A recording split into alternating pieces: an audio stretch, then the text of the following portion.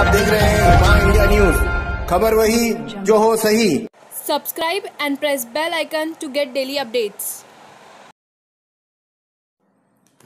सात मार्च प्रधानमंत्री भारतीय जन औषधि दिवस के रूप में मुंबई के बोरीवली वेस्ट भगवती हॉस्पिटल के बगल में प्रधानमंत्री भारतीय औषधि केंद्र पे मनाया गया। इस वक्त प्रधानमंत्री ने औषधि केंद्र वालों से वीडियो कॉन्फ्रेंसिंग के द्वारा सभी केंद्र वालों से बात किए और लोगों से जानने की कोशिश की किस तरह गरीब लोगों तक इस स्कीम का फ़ायदा हो रहा है। आइए जानते हैं भाजपा की आमदार मनीषा चौधरी हरीश छेड़ा और कार्यक्रम के संचालक से कि प्रधानमंत्री औषधि दिवस कैसे मनाया गया? हमारे महा इंडिया न्यूज़ के प्रतिनिधि की रिपोर्ट। उसका वर्धापन दिन है। ऐसे जन औषधि केंद्र का आज मोदी साहब डायरेक्ट लाइव पे सब दुकानदारों के साथ, जनता के साथ वो लोग संवाद साधने वाले हैं। आज पर दो तीन दिन में तुरंत हमको बहुत सारे उद्घाटन है, कल महिला दिन है, कल कैंसर का कैंप भी मैंने रखा है, महिलाओं के लिए। अपना एस कैंसर सेंटर है आईसी कॉलोनी में।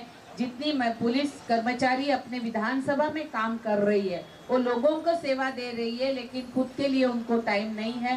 तो काश परमिशन निकाल के कल अपन कैंसर काम कैंसर का कैंप रखा है। इस प्रधानमंत्री जन औषधि केंद्र जब से हमारे यहाँ पे चालू हुआ है, तब से मैं देख रहा हूँ कि निरंतर इसकी डिमांड बढ़ती जा रही है।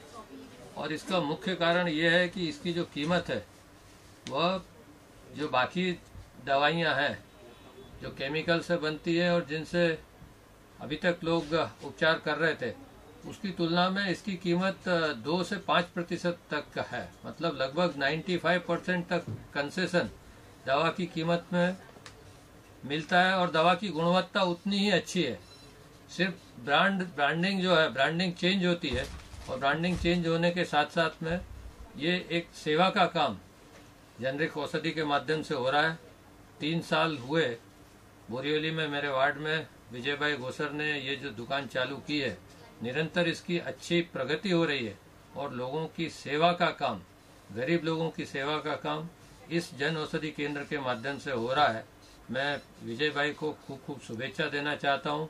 हमारे प्रधानमंत्री श्री नरेंद्र मोदी जी को खूब शुभेच्छा देना चाहता हूँ कि इतनी अच्छी योजना के माध्यम से लोगों की सेवा वो कर रहे हैं और इस योजना के माध्यम से जो स्ट्रेस लेवल की बीमारियाँ हैं, कोलेस्ट्रॉल होगा डायबिटीज़ होगा ब्लड प्रेशर होगा ऐसी बीमारियों की जो हज़ारों रुपए खर्च होते हैं और फिर भी रोगी ठीक नहीं होते हैं उसकी तुलना में ये जो जेनरिक औषधि है वह काफ़ी सस्ती है और गरीब लोगों को इससे बहुत ज़्यादा फ़ायदा हो रहा है।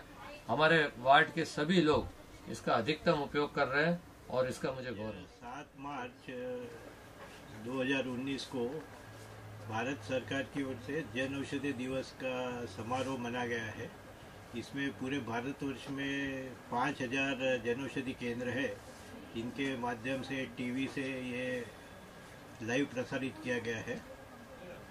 हमारे लिए इसमें एक एडिशनल एडवांटेज है कि आज हमारे शॉप के तीन साल पूरे हुए हैं सक्सेसफुल रनिंग के। और आज हमारे पास बीस हज़ार कस्टमर का बेस है, जो लोग इस दवा का लाभ ले रहे हैं। प्रधानमंत्री जन औषधि में अब तक कुल कितने ब्रांड की दवाइयाँ उपलब्ध हैं? हाँ, आज की तारीख में करीब करीब साढ़े आठ सौ अलग अलग दवाइयाँ उपलब्ध है और सत्रह एलिमेंट का सेक्टर कवर है इसमें। इसमें खास करके diabetes blood pressure cholesterol vitamin antibiotics thyroid के लिए फिर कैंसर एड्स और किडनी पेशेंट के लिए दवाएँ उपलब्ध हैं। आप देख रहे हैं।